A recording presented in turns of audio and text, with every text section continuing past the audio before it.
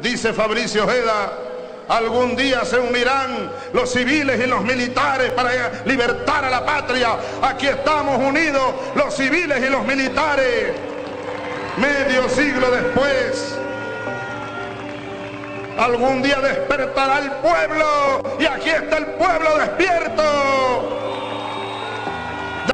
El 23 de enero de 1958, a raíz de la unión generada entre las fuerzas militares y civiles, se concretó el derrocamiento de la dictadura de Marcos Pérez Jiménez, quien gobernó Venezuela entre 1948 y 1958. Estos sucesos trajeron como desenlace la llegada de la democracia como sistema político de gobierno. A 65 años de esta rebelión popular, la Contraloría General de la República rememora este día como la consolidación de la unión cívico-militar del pueblo venezolano.